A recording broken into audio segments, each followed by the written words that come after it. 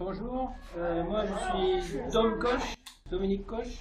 Je travaille euh, à la grotte du Lazaret et là c'est le chantier de fouilles euh, de l'été 2014, en août 2014.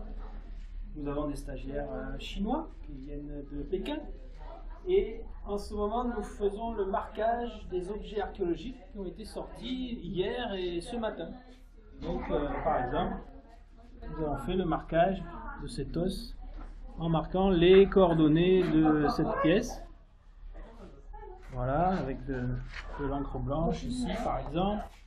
Et ici, sur cet éclat également, le marquage de la pièce. C'est important pour euh, l'archivage, l'inventaire de tous ces objets que l'on trouve par dizaines chaque jour dans la grotte du Lazaret.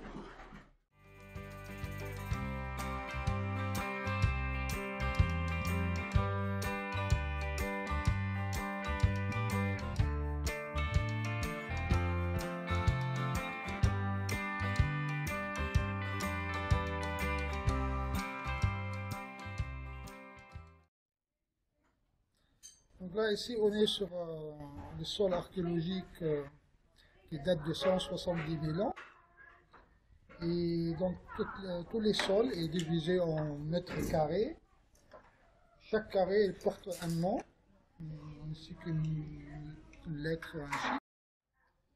Et donc, on fouille carré par carré, avec un tournevis, un pinceau. Et tous les objets que l'on trouve, les objets archéologiques, ce sont des ossements, ou des pierres taillées, ou même parfois du charbon de bois, on doit les coordonner en fonction de ce carroyage. Ça veut dire on doit prendre des coordonnées cartésiennes, euh, les X, les Y, les Z, etc. Chaque objet va être également dessiné, ensuite lavé, etc. Alors, pour bien comprendre la, la répartition du matériel euh, sur un sol, on laisse tous les objets archéologiques en place, sur environ 80 mètres carrés. Et ensuite, on va faire des photographies, on va faire des plans, des dessins. Ainsi, de temps en temps, on fait des moulages pour avoir l'image réelle euh, de ce sol archéologique. Alors maintenant, on a un sol très riche en, en biface. C'est un outil HLIA. C'est c'est un couteau de chasseur euh, d'Homo erectus. On a beaucoup d'ossements de grands mammifères comme le cervidé, le bouquetin, l'auroch, euh, le rhinocéros. Actuellement, on a même de l'éléphant. Et nous avons également quelques foyers bien structurés comme le cas ici. Et ensuite, nous avons évidemment des restes humains qui indiquent que c'était des Homo erectus, anténéandertaliens. Nous avons découvert des, des dents, des dents de lait parfois.